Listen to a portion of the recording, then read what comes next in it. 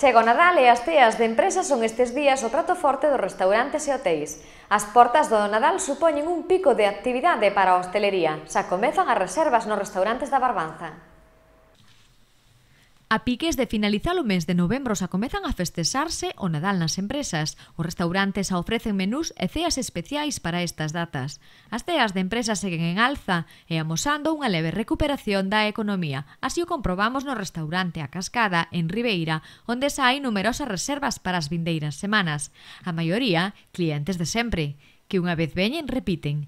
Alguns dos días máis sinalados alcanzan a reserva o 70%. As datas que temos xa sinalizadas con baile, mm, con cena, despois con música, baile e tal, as típicas, non? que a xente quere salir, cear, despois xa eh, pois no mismo local ter unha animación musical.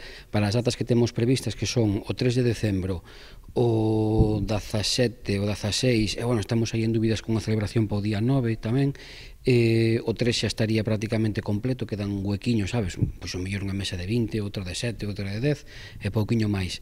Para o 17, pois tamén estamos tendo, estaremos un 80% da nosa capacidade, Eh, para o 16 sí que temos de momento bastante sitio, mm, estaremos ainda non o 60%, E eh, para o día 9, bueno, pois pues temos unhas cousiñas que xa nos, xa pasamos presupuesto, eh, seguramente nos dixeron, bueno, que, que nos quede xa o presupuesto aceptado, eh, contando con eles, pois pues, teríamos xa un 70% do local ocupado. Os restaurantes ofrecen menús adaptados a todos os petos, pero mirando presupostos máis elevados que en anos anteriores. Este ano comeza a cambiar a tendencia dos últimos anos e os empresarios volven a pagar as teas para os empregados.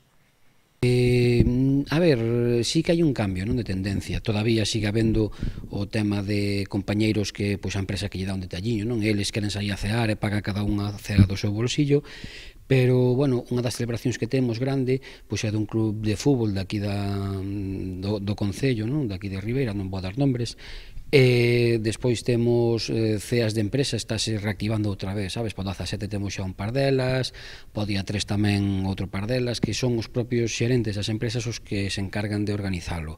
E, bueno, pois hai ese cambio de tendencia favorable, penso, para o noso sector, e esperemos que siga, que siga a alza o menú adaptado pero primando a calidade dos produtos. Así, este ano atoparemos, ademais do típico gambón, moito marisco da ría. Nécoras, ameixas e vieiras acompañarán na mesa as mellores carnes e peixes, regados por un boviño como manda a tradición. No outro punto tamén temos na outra marxe xente que ven e che pide, "Oye, mira, eu quería mm, unha cea para 20 personas e queremos este marisco, este outro, este peixe, esta carne", e non che pide precio, sabes? Non ven a precio cerrado, el quere eso e para tantas personas. Non é que lle dé igual que lle cobres, sabes, 150, ni moito menos, pero eh, como xa nos conocen, o que che dicía ao principio, eh, son xente que xa nos conoce de hai anos e sabe que, oye, que vamos axustadiños en calidade e en precio, eh, xa con confía, sabes? Xa veñen e, mira, gárdame un sitio para 20 personas e queremos este menú e non che preguntan o precio. Entonces, hai eh, despois, bueno, o público general que olle que se adapta aos menús que nós xa temos eh, programados, eh, fai algunhas pequenas modificacións, non, en función de, olle, pois algunha persona alérxica, celíaca ou que sea, e adaptamos os menús ás súas necesidades. A ver, mariscos, a ver, o gambón é o de todos os anos, vale, sigue sendo o rei, porque, bueno, en calidade e en precio, pois, pues, podes garantir con antelación suficiente un precio para un menú. Eh, sí que están pedindo bastantes orzamentos con Nécora, vale? Damos as dúas opcións, tanto de aquí como de fora. Claro, a xente que era de acordo aquí pero pagar a precio de fora. Mm, non, non sea moi factible. Pero bueno, hai algúns que, que sí que xa se empeza a notar un poquinho a, a demanda de produtos daqui da zona e non lle importa tanto o precio.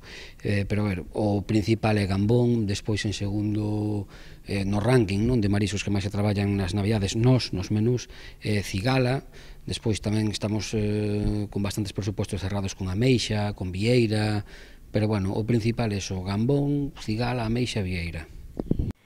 No caso do restaurante A Cascada, cabe reseñar que cada vez son máis as persoas que aproveitan a cea baile co fin de pasar unha noite amena en compañía e con diversión, reservando un bungalow para pasar a noite por un módico prezo, evitando así o desplazamento.